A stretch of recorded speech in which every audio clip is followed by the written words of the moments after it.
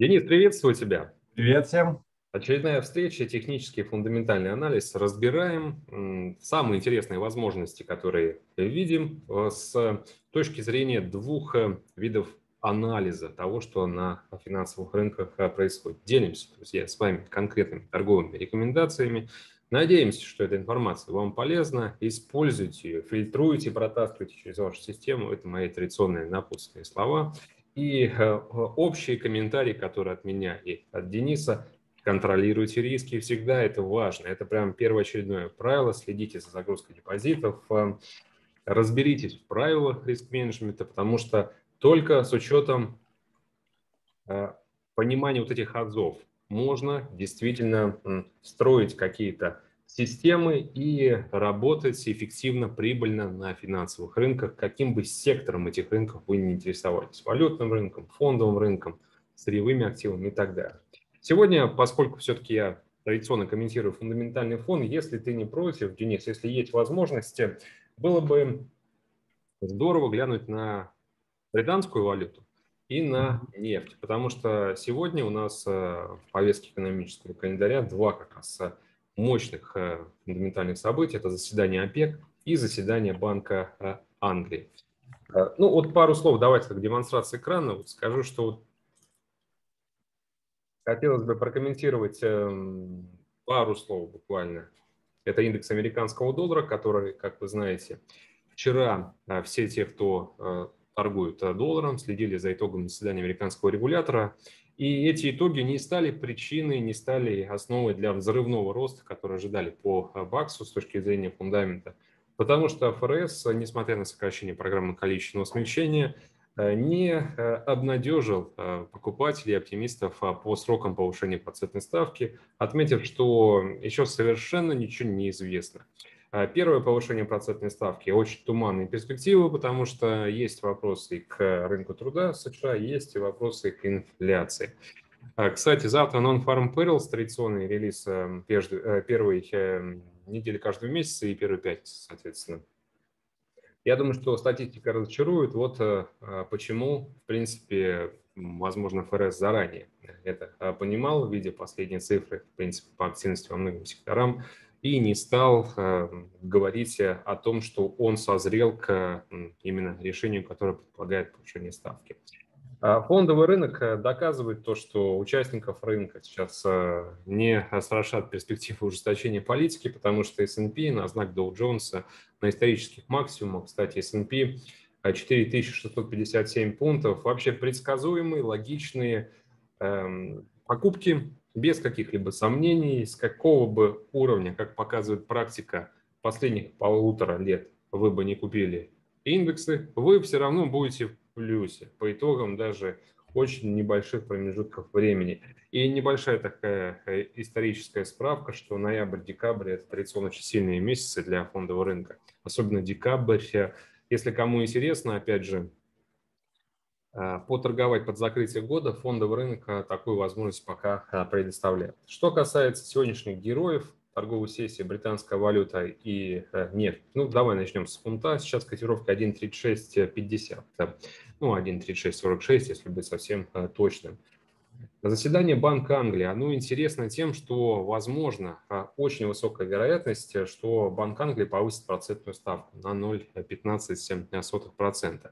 Вчера буквально вышел отчет по активности в сфере услуг, эм, который стал еще одной частью такого эм, пазла, Э, на основании которого будет э, приниматься решение регулятора, уместно ли сейчас или нет. Ранее мы помним комментарии главы Банка Англии Бейли о том, что инфляция на самом деле растет э, опережающими темпами, чем ожидалось, прогнозировались рост инфляции более устойчивый, поэтому для британского регулятора сейчас ну, более чем уместно начать ужесточать политику, понемногу повышая процентную ставку. И, э, как я уже отметил, вчерашний отчет – это дополнительное основание, чтобы сейчас э, а, пойти на такой важный шаг, который, в принципе, изменит э, общий подход регулятора к стимулированию экономики как бы в помощи от последствий ковида. И если это решение друзья, будет принято. Я думаю, что фунт легко перекроет весь негатив, который ранее был вызван снова возросшим количеством заболевших за сутки около 40 тысяч. Ну да, нездоровые цифры. Ну, все это компенсируется логичной реакцией британской валюты логичной реакции актива на решение по росту процентной ставки, которое априори должно предполагать укрепление курса. Поэтому я сегодня э, рекомендовал бы смотреть на уровень 1.37 и в случае его пробоя покупать уже смело с целями долгосрочными как раз под конец этого года с там, ожиданиями пары в районе метки 1.40. Что касается рынка нефти, то Сейчас локально отрастаем с вчерашних минимумов, которые были э, вызваны реакцией трейдеров на данные по запасам нефти. Запасы выросли, это несколько разочаровало участников рынка. Но мне кажется, вчерашнюю динамику можно, вот объясняют фундаментом, э, с большой натяжкой, потому что вчера рынок метался именно на э, отношении к общему настроению в преддверии важного фундаментального события. Я уверен, то, что заседание ОПЕК сегодня пройдет без каких-либо решений. То есть э, не станут э, дополнительно наращивать, э, принимать решения о дополнительном росте нефтедобычи, не станут поднимать планку по ежемесячному производству, оставив все как есть. То есть в соответствии с прежними договоренностями уровень нефтедобычи будет расти до конца этого года, в лучшем случае на 400 тысяч баррелей в месяц. Но самое интересное то, что страны ОПЕК не выполняют даже эти обязательства, эти условия сделки, потому что реальный уровень нефтедобычи ниже. А в прошлом месяце, в октябре, страны ОПЕК э, плюс добывали 27,5 миллионов баррелей. Это примерно на 300 тысяч э, баррелей в сутки меньше, чем было запланировано и оговорено в сделке аналитического пакта. Я думаю, что это следствие, опять же, с одной стороны, Э, очень э, слабых производственных мощностей, которые не позволяют Нигерии, Анголе выйти на те уровни, которые должны соответствовать их э, квотам. А с другой стороны, мне кажется, это внутренняя тактика страны ОПЕК+, которые сейчас не очень-то заинтересованы в том, чтобы цены на нефть обвалились, потому что чем дольше продолжается период более высоких цен на нефть, тем больше и лучше верстаются их бюджеты, и больше они получают вот этих нефтяных долларов не прогнется, мне кажется, ОПЕК сегодня под давлением ни Китая, ни США, ни Индии, ни Японии откажутся от дополнительного роста нефтедобычи, и это может привести к росту бренда прямо с текущих уровней э, до 88-90 долларов за баррель. Ну, конечно же, ориентироваться на такой рост в рамках одной торговой сессии – это, наверное, слишком, потому что это почти 10% э, э, восстановления с текущих уровней. Но мне кажется, по факту такого события 5% э, нефть легко может дать. Денис, слово тебе. Так, хорошо. Включаю показ рабочего стола. Отлично, должно быть видно. А, значит, касательно фунта. По фунту я, пожалуй, с тобой соглашусь с одной лишь поправкой, что по фунту могут сделать еще обновление минимума а, вчерашнего, не вчерашнего, а минимум текущей недели. Вот, а потом уже двинуть в укрепление. То есть, в принципе, он у меня на самом деле, основная идея идет на укрепление ровно до момента, пока цена не а, пробьет все вот это накопление. Потому что накопление реально мощное, значимое. Угу.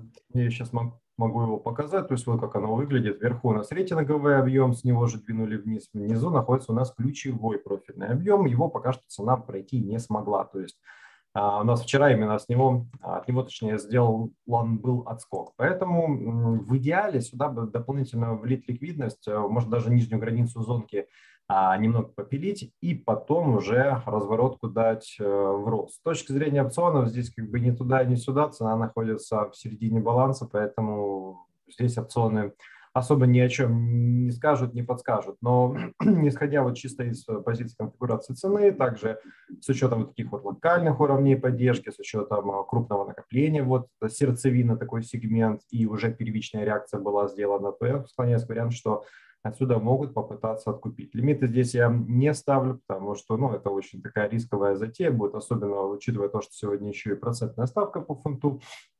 Хотя, ну, я не знаю, ты говоришь, что процентную ставку собирается повышать. Ну, как я понял, ее решили пока что большинством голосов не трогать. Вот. Но опять-таки, может там, конечно, что-то и поменяется, но во всяком случае я пока исхожу из того, что ее mm. трогать не будут, и на фоне этого как раз вот небольшое такое локальное разочарование могут сделать в виде выброса вниз, ну а потом лонговая тенденция. А, по поводу э, нефти. Значит, нефть у меня изначально был основной вариант, э, я его давал еще в понедельник, что коррекция вводка этой зонки. Зонка на самом деле классная, это хорошая область, построенная, ну, скажем так, зонка вращения. Это область вращения, совмещенная с маржинальной зоной, построена по данным экстремумам. То есть в качестве коррекции она себя проявила очень хорошо. То есть так не подошла, сформировала отскок. Вверху, по, э, по мере роста цены выше, здесь у нас есть очень сильная область. Я построил заранее профиль, и четко видно, вот синим цветом он выделен. Это основной профильный объем, который находится во всем этом движении. Учитывая то, что было сделано перекрытие сегмента вниз, а, и плюс депо контракта также находится вверху, я склоняюсь к варианту, что движение вверх оно будет являться коррекционным. То есть пока что а, в рамках вот, как минимум текущего месячного контракта, это где-то это до 16 а, ноября мы вряд ли увидим какой-то мощный прям рост, поэтому я лично больше все-таки за продолжение коррекции, а потом уже только после этого новый, более, более значимый рост. Потому что подобная конфигурация, на самом деле, мы ее уже видели, она у нас была расторгована вот в этой картине. Точно та же самая схема была. Перекрытие сделали прошлого сегмента, внутренняя коррекция без обновления максимума. Здесь то же самое, вот она без обновления максимума. После этого выброс вниз, вот у нас выброс вниз, потом коррекция поглубже к основным профилям, здесь основные профили находились вот в этом сегменте, и снова движение вниз, а потом уже только вверх на перекрытие. Поэтому здесь, я думаю, ну, в таком более локальном варианте, но расторговать могут приблизительно вот такую же картину. Вот, к тому же вверху, вот если я сейчас построю, у нас также находится и одна вторая маржинальная зона сопротивления, которая дополнительно будет усиливать э, этот э, диапазон. Поэтому с учетом всех перекрытий, я все-таки склоняюсь к варианту, что вот от этой зоны еще раз отскочим вниз, а потом уже основное то, о чем ты говорил, там 87 и 90, а, такие уровни действительно есть, вот 90, но это на следующий месячный контракт, который вступает в силу после ролловера а, с 16 на 17 число. Поэтому здесь фактически это уже для нового опционного контракта, а так до середины недели цена может запросто а, падать вниз. Ну, в конце случае, у меня такой вариант, потому что на, на текущем месяце у нас дичайшая область а, перекупленности. Получается, ну, это с точки зрения опционов очень сильная область здесь перекупленности. Угу. Вот, так что я лично за углубление коррекции, потом только уже в разворот. Так, понял. Э, Денис, спасибо тебе за твою точку зрения. Ну что, ждем эти события, о которых э, было сказано. Еще раз, э, друзья, все самое интересное впереди. На следующей неделе мы точно поговорим о, о, о том, где окажется нефть, э, фунт.